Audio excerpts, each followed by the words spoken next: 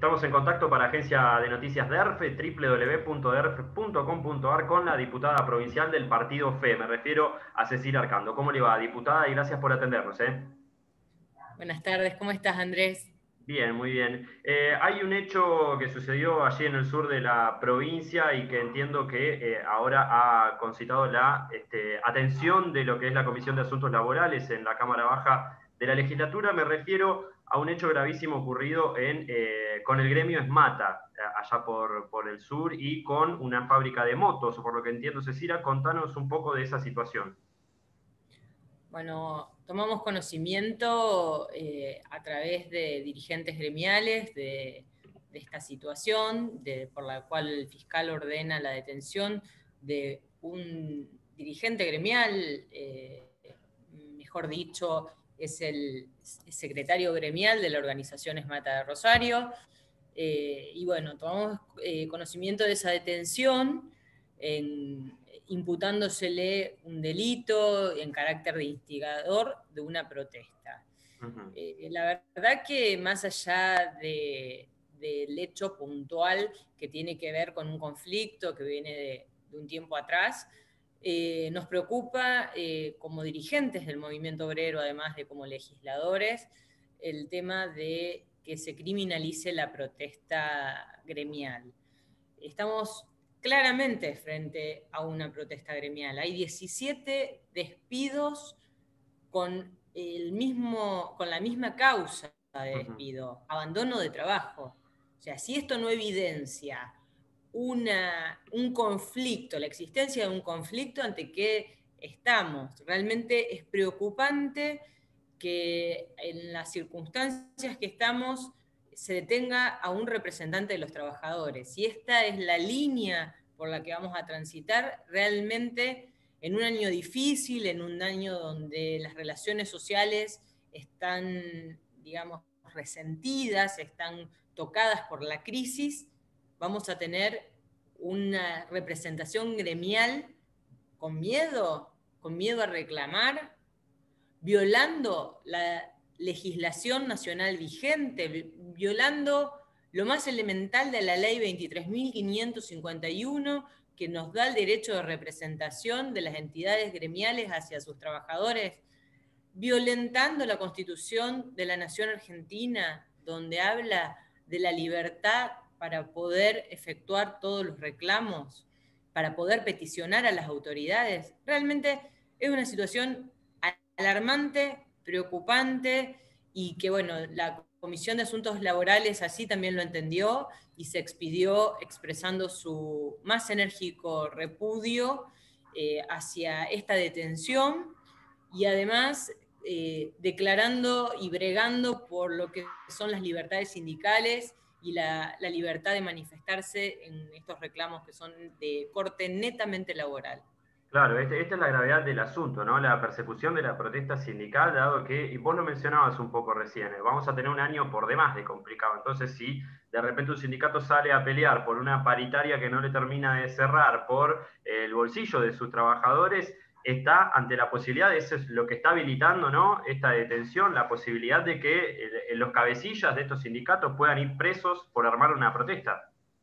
A ver, no hablo, no hablo de eh, si vamos a proteger o no eh, a un sector eh, sindical, hablo de criminalizar la protesta. Es demencial eh, en estos tiempos. Es una violación a normas de derecho eh, vigente nacional e internacional. Es pasible de denuncia ante la OIT. O sea, es realmente un hecho, eh, además de, que nos alerta como dirigentes gremiales, es un, es un hecho realmente bochornoso. Sí, sin duda. Eh, Cecilia, te aprovecho también en este contacto porque la última vez eh, que charlamos hablamos un poco de la actividad del turf, ¿no? que vos estás ahí tan, tan ligada y la seguís tan de cerca. Eh, charlamos creo que por noviembre del año pasado y me decías, la actividad del turf está volviendo a, recobrar su, su, actividad normal. esto, ¿cómo, ¿Cómo siguió en estos meses, Cecilia? Bueno, a partir de la habilitación y la autorización para funcionar con los protocolos adecuados, se vienen llevando a cabo dos reuniones mensuales, como se venían realizando anterior a la pandemia. Eh, y de hecho, volvemos a repetir, porque por ahí mucha gente no conoce, la actividad se siguió efectuando durante el término de la pandemia por una cuestión de sanidad animal. Eh, los vareos diarios de los, de los ejemplares equinos se, se, siguieron dando todas las mañanas.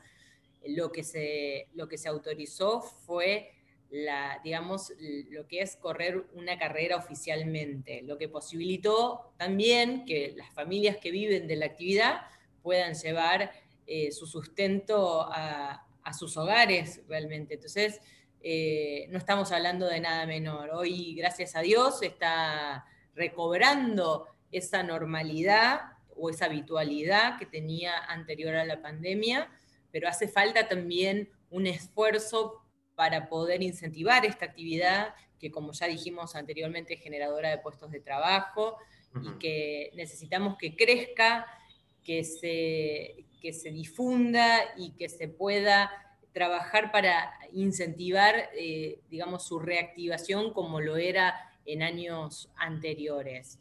Eh, también seguimos con otras actividades que estamos bregando por su apertura, que es la, una de las últimas actividades que todavía no han podido abrir sus puertas desde el 19 de marzo del año pasado, que es la actividad de los cines.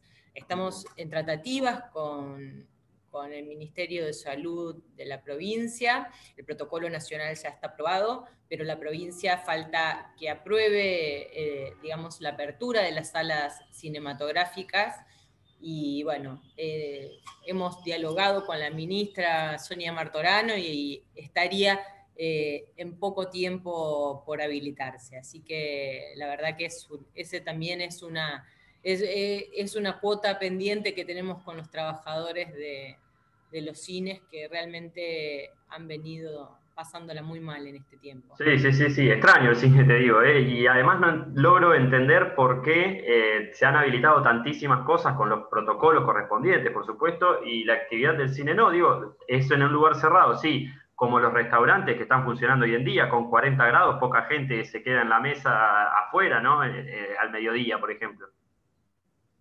Sí, lo que pasa que, bueno, el cine lo que se cuestionaba puntualmente es la cuestión de la ventilación, Existen sistemas que extraen el, aire y sistemas que lo recirculan. Bueno, para aquellos que recirculan el aire van a tener que poner, algunos filtros. Para aquellos sistemas que, extraen el aire no lo requieren.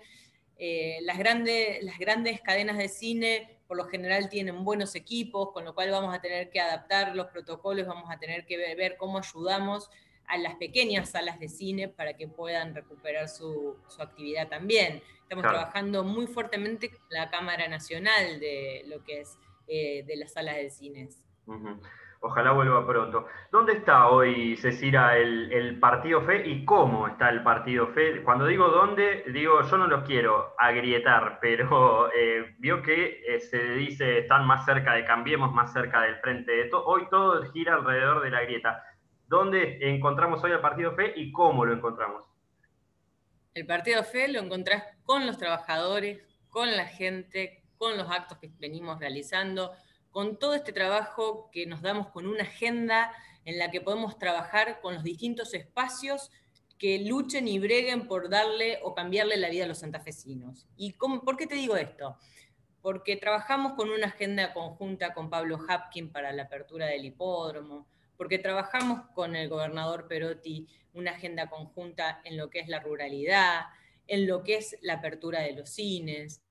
Y realmente hoy, eh, como vos decías, meternos en una grieta, nosotros todavía nos debemos como partido fe, y con esto no te estoy esquivando el bulto, sino que eh, como partido fe nos debemos de cara a, nuestro partido darnos un debate interno, ver, nos estamos reacondicionando, tuvimos una pérdida muy importante en este año, por, en este año que pasó por COVID de nuestro dirigente gremial eh, Ramón Ayala.